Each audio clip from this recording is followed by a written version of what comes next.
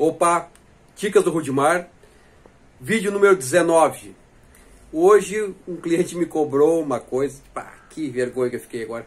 Não coloquei no YouTube ainda o vídeo do quarto que eu fiz para ele. Então é um quarto pequeno, vocês reparem bem como é que é a, questão do design dos cantinhos, para conseguir chegar a, a montar um quarto desse foi uma trabalheira por causa do espaço, mas ficou tão legal, ficou muito show de bola. Dá uma olhada lá. Um abraço, até daqui a pouco. Lembre-se de deixar o joinha no canal, se inscrever e compartilhar com um amigo, né? Tá? Um abração. Aqui nós temos um quarto sob medida, um quarto bem pequeno. Adaptamos o roupeiro, cama, o cliente comprou uma cama grande, cama king, 1,60m de largura por 2 metros de comprimento. O quarto só tem 2,40 metros e 40 de largura por 2 por 3 metros de, largura, de, de comprimento. E aí ficou aqui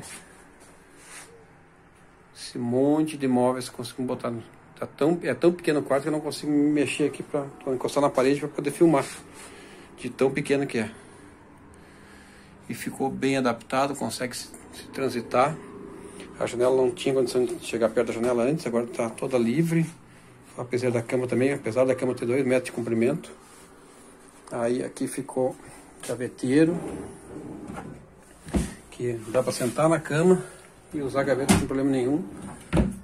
Aqui ficou, eu botei essas borrachinhas de amortecedor para não, não bater, a, a gente pediu para não bater. Colocamos bastante prateleiras, espaço bem perto uma da outra para ficar mais fácil as pilhas ficarem pequenas. Ficou bem acomodado daí, tudo com amortecedor da, das dobradiças. Essa porta do canto ficou uma porta com dois cabides, o primeiro cabide e o segundo, e mais a prateleira de madeira em cima. Esse espaço de dois cabides cabe dois ternos, tanto em cima quanto embaixo. Se o cliente quiser colocar calças de baixo, sobra um espaço o suficiente para botar uma prateleira aqui. Mesmo tanto na prateleira, na verdade, né? Ficou espaço livre para isso. E aqui em cima, em cima da cama ficou o painel de cabeceira da cama. Ficou esse nicho para guardar tudo quanto é um monte de coisa. Fica bem legal. Em cada uma das portas, em cima da cama tem todos esses espaços de prateleiras. São duas, quatro, seis portas. Todos, o jogo abre duas, abre duas com esse monte de prateleiras dentro. Que aí fica muito fácil de trabalhar. Acomoda muito bem as coisas.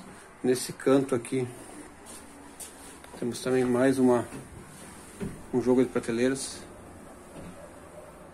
para ficar bem fácil de, de adaptar as roupas do quarto. Aqui tem também ficou tudo fixo na parede. Ó. Nós colocamos Aqui foi duas. Aqui foi mais uma, duas também. E aqui no meio foi quatro buchas. Então foi oito buchas de parafuso nessa parede. Ficou muito firme. E a cabeceira da cama foi grudada na parede também. E o criado mudo ficou no cantinho. Uma gaveta e uma porta para guardar tudo tipo de coisa. Ficou um quarto que antes não conseguia nem se entrar direito por causa do roupeiro convencional. E agora está todo ele bem harmônico e bom de, de trabalhar, de dormir, de guardar coisa, bastante espaço.